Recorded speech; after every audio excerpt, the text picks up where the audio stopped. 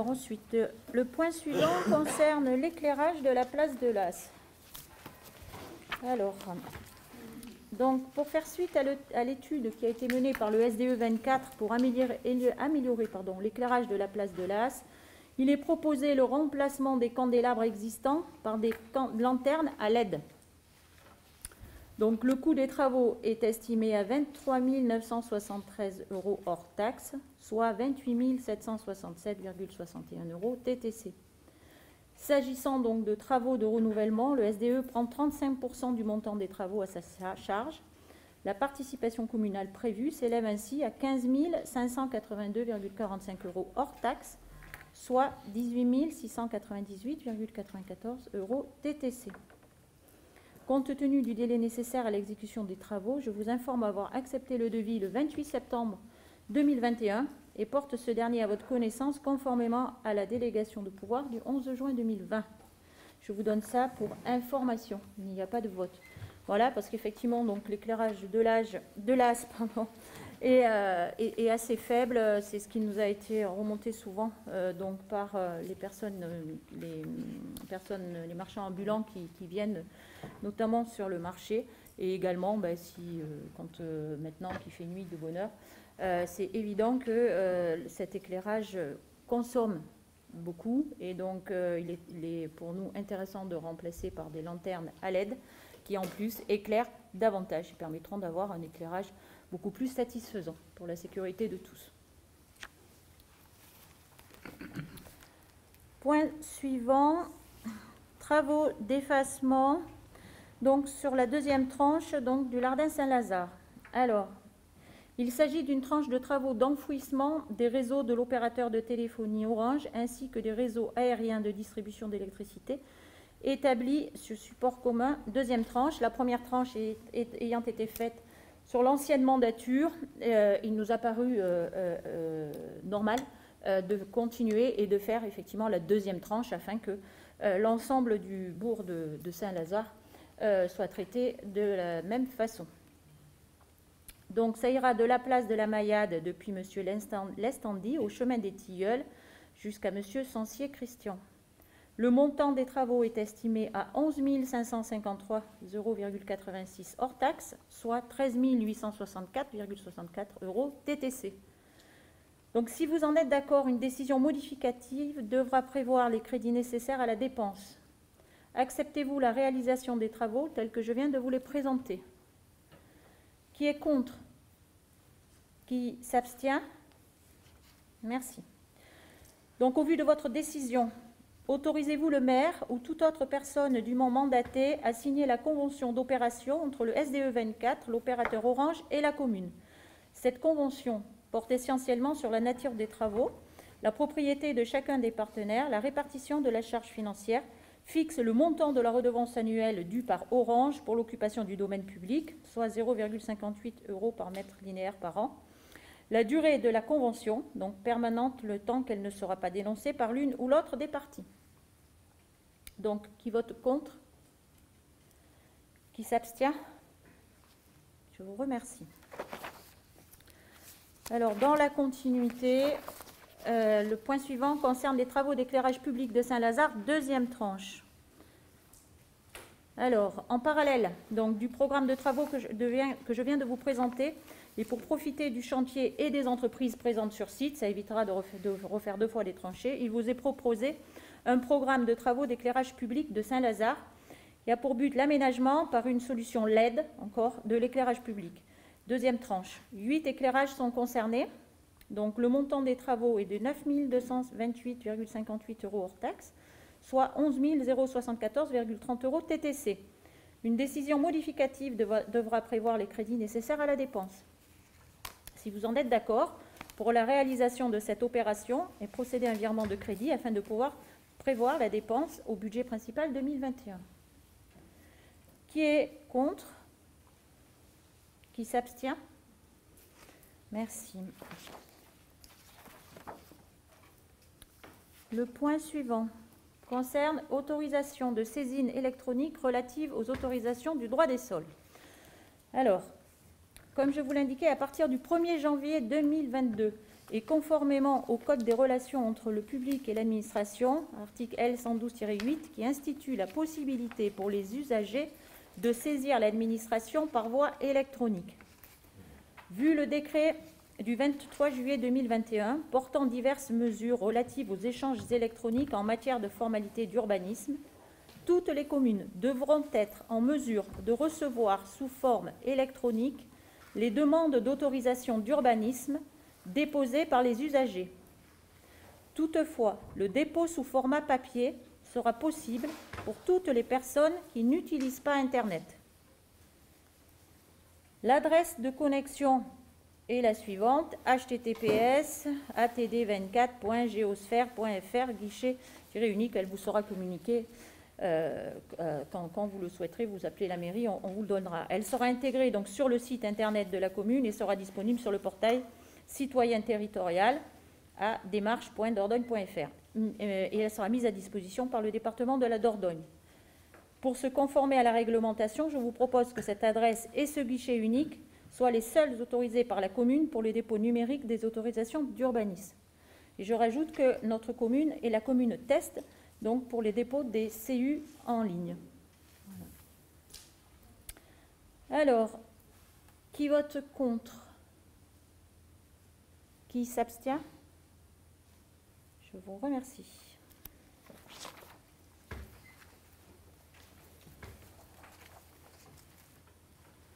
Point suivant, modification des régies de recettes du Centre municipal de santé. Donc à ce jour, le Centre municipal de santé de la commune dispose de deux régies de recettes, l'une pour le dentaire et l'autre pour le médical. Pour faciliter la gestion de ces règles de recettes et sur avis de ce recettes et sur avis de monsieur le trésorier payeur, Seul responsable en matière de régie, il serait préférable de les unir en une seule et même régie.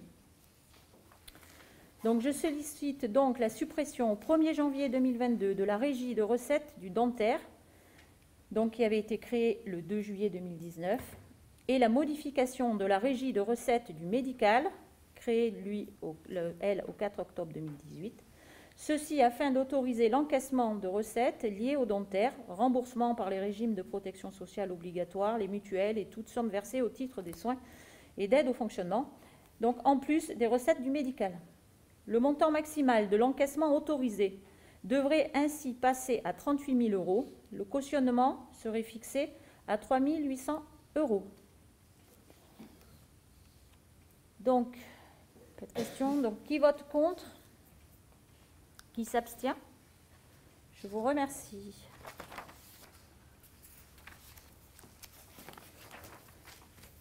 Point suivant porte sur le renouvellement d'adhésion au service de médecine préventive, du CDG 24.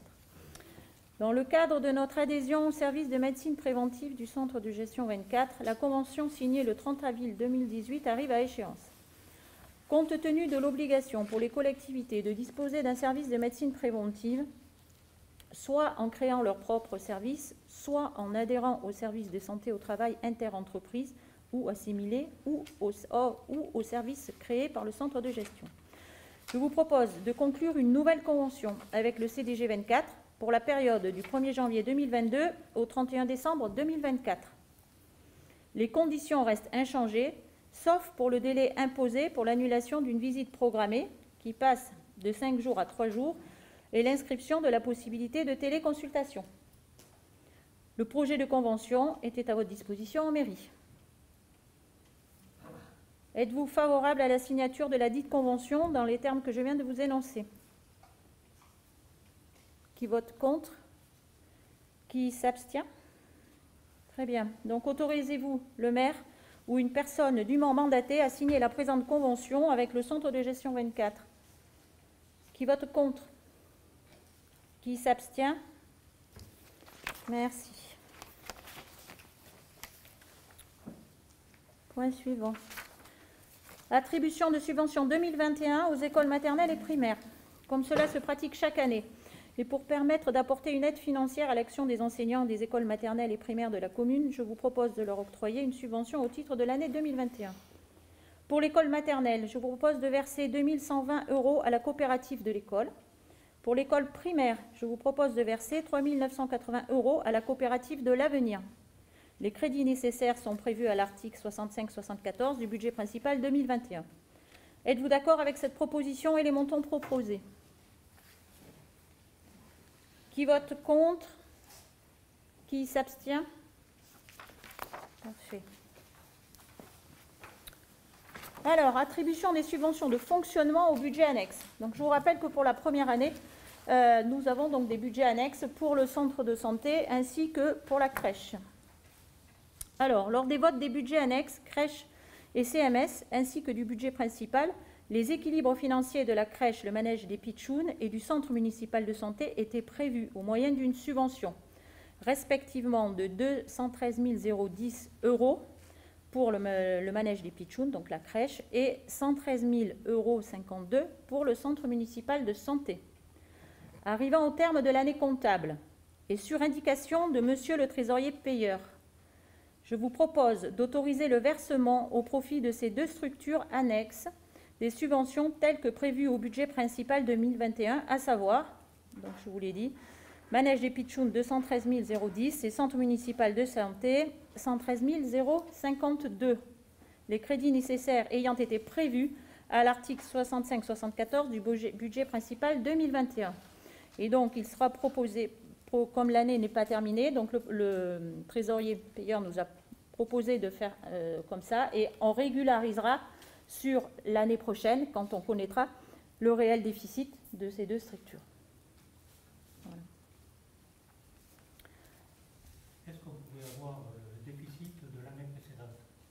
le déficit de l'année précédente? De ces deux structures. Alors, euh, oui, vous pourrez l'avoir euh, exactement. Je, alors, il était de 200 000 euh, pour la crèche, c'est ça, et pour le centre municipal de santé, 200 et quelques. Hein?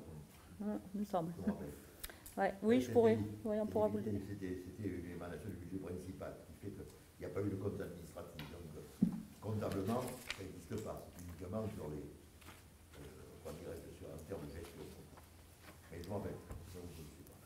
Et aux alentours de 200 000.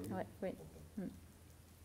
Mais on, peut vous le, on vous le recommuniquera exactement. La prochaine réunion, vous pourrez nous... Oui, oui. On vous le donnera précisément. Mais c'est euh, les deux, c'est à peu près 200 000. Enfin, la crèche, c'est sûr. Et euh, le centre de santé, il me semble que c'est ça aussi. Donc, euh, qui vote contre donc l'attribution de ces subventions de fonctionnement? Euh, Qui s'abstient? Merci. Ensuite, le point suivant porte sur une décision modificative au budget principal 2021. Alors, au vu des différents travaux pour lesquels vous venez de décider l'exécution, il convient de prévoir leur financement au moyen d'une décision modificative au budget principal 2021. À ces derniers, il convient d'ajouter les devis signés dans le cadre de la délégation de pouvoir donner au maire, que je vous rappelle. Donc, il, y a il, y a, il va être procédé au remplacement d'un poteau d'incendie au lotissement Les Abeuils pour 3 318,35 euros TTC. Il est prévu également, et ça a eu lieu, le remplacement des feux piétons non sonores par des feux piétons sonores sur la signalisation lumineuse tricolore pour 6 706,44 euros. Et nous avons bénéficié de 1549 euros euh, au titre des amendes de police. Euh, et donc, il faudra également prévoir ainsi que l'éclairage de la place de l'As. Donc, s'agissant de travaux de renouvellement, donc pour la place de l'As, comme je vous l'ai dit tout à l'heure, le SDE 24 prend 35% du montant des travaux à sa charge. La participation communale prévue s'élève donc ainsi à 18 698,94 euros TTC. Je vous propose donc le virement de crédit suivant.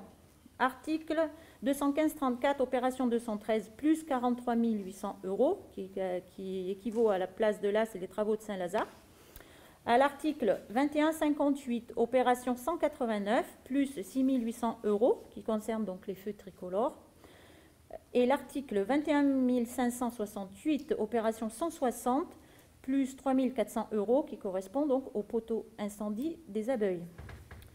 Et enfin, l'article 020, dépenses imprévues d'investissement pour moins 54 000 euros. Êtes-vous d'accord avec cette proposition?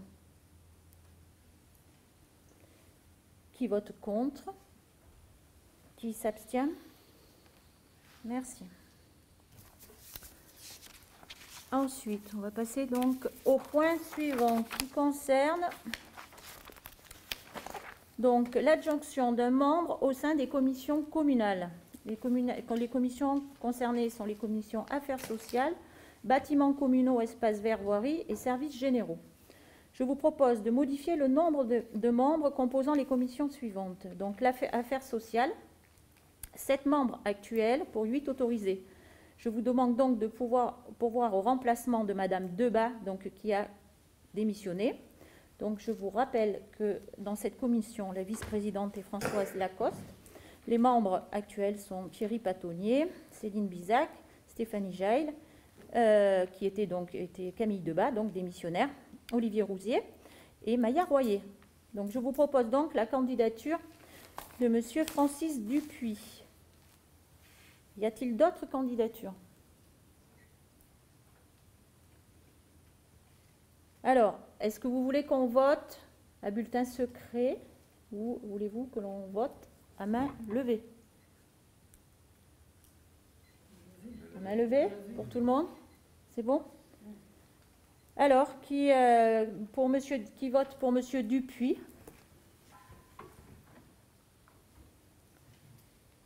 À l'unanimité. Sauf Monsieur Dupuis, oui, évidemment. D'accord. Donc, Monsieur Dupuis, vous êtes désigné membre de la commission Affaires sociales. De même, euh, ça concerne maintenant la commission bâtiments communaux, espaces verts, voirie. Donc, 8 membres actuellement. Je vous demande d'augmenter le nombre et de passer à 9 membres. Donc, êtes-vous d'accord pour porter ce nombre à 9 membres? Donc, qui vote contre? Ah bon Qui s'abstient? Hein, hein? Tu étais dans la lune. Merci. Euh, très bien. Donc, je vous propose encore donc, la candidature donc, de M. Dupuis. Y a-t-il d'autres candidatures? Donc, euh, qui, vote, euh, qui vote pour M. Dupuis? Tout le monde Sauf lui. Merci beaucoup. Merci pour lui. Donc, M. Dupuis est désigné membre de la commission bâtiments communaux, espaces verts, voirie. Et la dernière donc commission services généraux. Donc il y a cinq membres actuellement. Je vous demande d'augmenter le nombre et de passer à six membres. Êtes-vous d'accord pour porter ce nombre à six membres? Qui vote contre? Qui s'abstient? Je vous remercie. Donc je vous propose donc la candidature de M. Francis Dupuis. Y a-t-il d'autres candidatures? C'est le cumulard. Ah oui, c'est un cumulard. Allez, euh, qui vote pour Francis Dupuis C'est la dernière fois. Merci beaucoup. Monsieur Dupuis est désigné membre de la commission des services généraux. Voilà, il n'a plus qu'à travailler. Très bien. Alors, le point suivant porte sur la modification du tableau des effectifs. Alors, compte tenu du nombre d'enfants présents à la crèche de manière régulière, des mouvements de personnel intervenus en 2021, départ en retraite, non reprise à la suite d'une disponibilité, et ceux à venir en 2022, demande de disponibilité et invalidité, je vous propose de recruter de manière définitive l'agent ayant assuré les remplacements durant une année continue, ainsi que l'agent assurant les remplacements depuis 2006. Je vous propose donc la création, à compter du 1er janvier 2022, d'un poste d'auxiliaire de puériculture principale deuxième classe à temps complet. Ce poste sera suivi, après avis du comité technique, d'une suppression d'un poste d'auxiliaire de puériculture principale première classe non pourvu suite au départ en retraite de l'agent qui l'occupait. Et je vous propose la création d'un poste d'adjoint d'animation à temps complet. Donc, il ne s'agit pas de postes supplémentaires, vous l'avez compris, c'est simplement pour remplacer soit des personnes qui sont parties à la retraite, soit des personnes qui vont être mises en invalidité. je n'ai pas vu la suppression de- du poste avant d'en embaucher un. C'est normal, elle se fait qu'après. Et elle se fait ensuite, me dit-on. Elle se fait quoi? Elle se fait après. D'abord, on, on remplace et après, on supprime. Il faut l'avis des commissions. Il faut l'avis de la commission technique, du comité technique. Oui, Oui. De plus, il y a une question à, poser.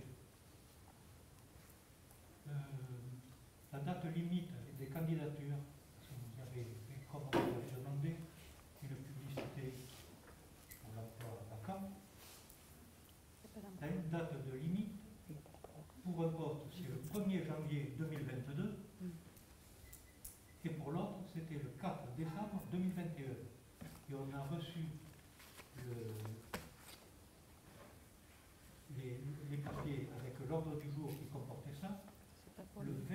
euh, Ça n'a rien à voir. Et quelques- C'est pas le même c'est poste pas les mêmes postes. C'est pour autre chose. Ça, c'est pour une création. C'est Ouais, la- Madame un, nouveau, un nouveau décret, Macron, qui oblige les crèches, notamment les micro-crèches comme la nôtre, euh, jusqu'à 20 enfants d'un demi-poste d'éducateur spécialisé jeunes enfants.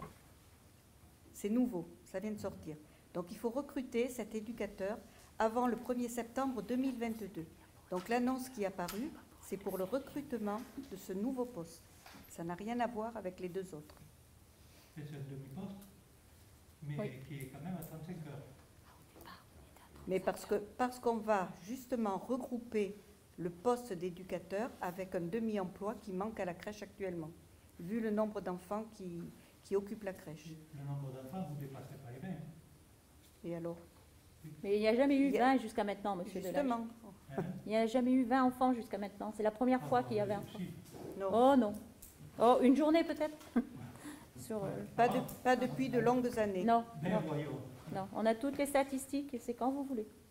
Oui, quand vous voulez. Oui, oui, mais il n'y a pas de problème. On vous les donnera. Je ne vous dis pas sur toute la plage. Ah non. la journée, Oui, on est d'accord. Sur une journée, oui, des- sûrement. Des horaires, c'était... Bon, enfin, ce- cette annonce ne concerne pas le- les postes qui sont. Ce n'est pas ces postes-là qui sont Voilà. concernés. Les annonces ont été passées pour euh, l'éducateur jeune enfant. C'est marqué d'ailleurs. La publicité pour ces postes, elle n'a pas encore été faite. Y a-t-il d'autres questions? Donc, on passe au vote. Donc, qui vote contre? Donc, vous votez contre la titularisation des personnes, enfin, le remplacement de personnes existantes. D'accord. Pas de problème. Monsieur Rousier aussi? Non Non, non. Très bien. Non, non, non, non. Très bien. Très bien, monsieur Rousier. je sais encore, je sais encore, mais Non, non, mais je pensais que vous aviez peut-être faculté encore. D'accord, très bien. Alors, euh, un vote contre, donc qui s'abstient? Pas. Et euh, donc ça fait deux parce qu'il a un pour. hein. Euh, et donc euh, pour le reste, merci. Donc les crédits nécessaires à ces deux postes seront inscrits chaque année au budget principal. Alors, ensuite, donc, c'est pour information. Donc, je porte à votre connaissance, donc euh, ça concerne les DIA délivrés en 2021. Donc, je porte à votre connaissance l'ensemble des déclarations d'intention d'aliénés enregistrées au 1er, du 1er janvier au 17 novembre 2021. Aucune n'a donné lieu à l'exercice du droit de préempter. Un listing vous a été remis précédemment. Souhaitez-vous que je vous les liste une par une? Et avez-vous des questions? Est-ce que vous voulez que je vous les reliste Non? Oui. savoir qu'est-ce que c'est cette SCI qui s'est montée aujourd'hui Alors, L'Imoris SCI. Je n'ai pas la liste. non, vous avez, vous Je sais pas. Je sais pas la liste. C'est quel numéro Les numéros de parcelles Numéro de. ou la date de la DIA la date. Le 7 euh, avril 21. J'ai pas la liste.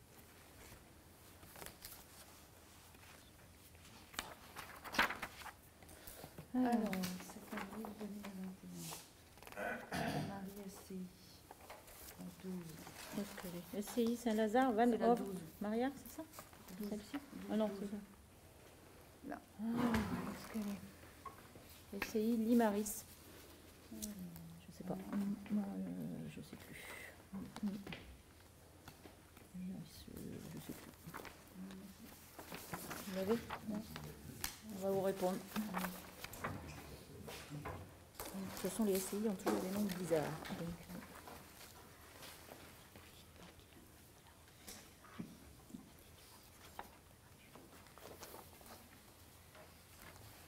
Alors, euh, on y va.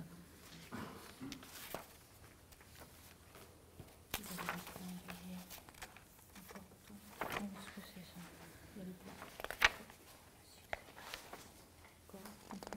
Société- société générale, voilà. C'est la, pharmacie Xémar. Voilà. Voilà.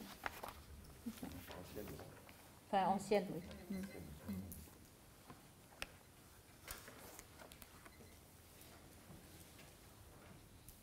Y a-t-il d'autres questions?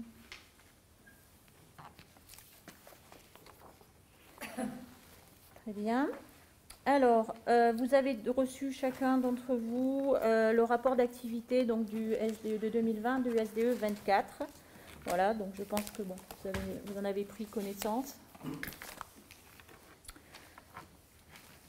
Alors ensuite, donc conformément à la délégation de pouvoir qui m'a été donnée en date du 11 juin 2020, je vous informe des marchés publics actuellement en cours. Les offres relatives au marché pour l'assistance à maîtrise d'ouvrage pour la construction de la salle des fêtes étaient en cours d'analyse au 3 décembre 2021. Toutefois, à ce jour, je dispose du rendu et vous informe que trois entreprises en sont missionnées. Les entreprises non retenues n'ayant pas encore été prévenues, je ne peux aujourd'hui dévoiler celle qui obtient le marché. Donc, je vous en informerai euh, lors du prochain conseil municipal. Par ailleurs, je vous informe que de la publication de marché pour la réfection de la toiture donc de, la- de cette salle des fêtes euh, et l'installation de panneaux photovoltaïques sur des bâtiments communaux, donc sur cette salle des fêtes, le gymnase et l'école primaire. Voilà, donc vous avez peut-être vu passer effectivement la publication du marché. Je vous avais alerté sur euh, la surcharge sur euh, Oui, tout à fait, mais, ouais, mais ça fait partie euh, donc, euh, donc, euh, de la personne donc, qui, qui vont euh, candidater. Ça fait euh, partie des calculs et ils ont des personnes qui s'occupent des notes de calcul et qui calculent tout ça.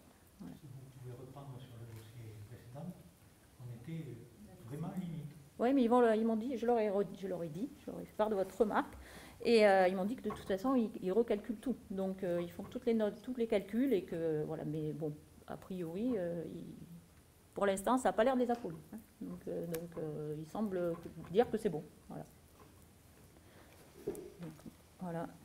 Donc, je, vous donnerai tous les détails euh, après. Je ne peux pas vous donner le, coût global, puisque, bon, on- je viens de vous l'expliquer, mais sachez que donc, il y aura une, c'est pour évidemment revendre l'électricité. Donc, il y aura un retour sur investissement dès la septième année où donc la, la- la- la revente permettra donc de rembourser les annuités dès la septième année.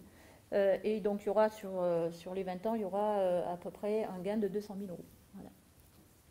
Donc, je vous donnerai les chiffres en temps et en heure, mais là, je ne peux pas vous les, les- les donner pour la, la raison que je viens d'évoquer. Voilà. Mais vous aurez tous les chiffres au prochain conseil municipal. Et pour un mortier, vous avez dit 7 ans? 7 ans, oui. Et 20 ans, la durée est... Ben, on l'a on est allé, on l'a calculé jusqu'à 20 ans, mais après. que Ben, les, ça les dépend- panneaux. Ça dépend des produits après. Oui, enfin, on estime à aujourd'hui que encore à 20 ans, euh, c'est tout à fait rentable. Après, ça doit peut-être commencer à décliner, mais À partir de combien on- à 20 ans, c'est possible. Voilà, Voilà, euh, en ce qui concerne donc euh, tous les points de l'ordre du jour.